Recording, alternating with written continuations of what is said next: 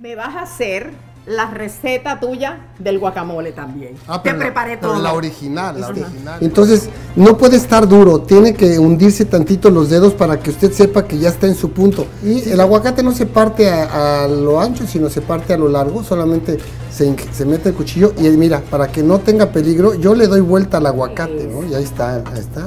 Ok. Vamos a partir unos dos o tres aguacates, Mira. aquí están en su mero punto. Traje aquí el limoncito para que le eches al guacamole. Pues no le vamos a echar limoncito ni por equivocación. Mira, aquí en Estados Unidos, para que el aguacate no se oxide, o sea, que no se ponga negro, le echan el limón. Pero el limón modifica el sabor del guacamole. Hay un secreto para que no se oxide el aguacate, para que no se ponga negro, y eso es echarle la semilla al guacamole. Así que mira, suácatelas, Oh, eh, eh, en Puerto Rico le dicen esto se va como amarillo en boque viejo. Anda. Eso es un dicho puertorriqueño. Sí, en México eso es una grosería grandísima, pero no ¿En importa. serio? Y hasta huele sab- Le vamos a Tan echar sal a esto. Sí, un poquito, La gente en sí. la casa se le está haciendo la boca agua a todo el mundo. Echamos la cebolla.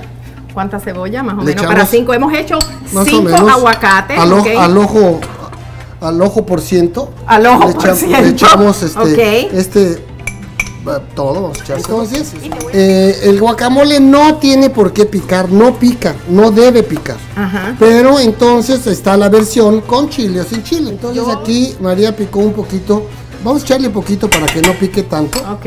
Y le echamos así de poquito. Y vamos a mezclarlo todo ahora sí. Entonces ya tenemos un guacamole Ya. original que tiene sal, tomate, cebolla, cilantro, un poquito de chile serrano picado y el guacamole majado. No se le echa limón.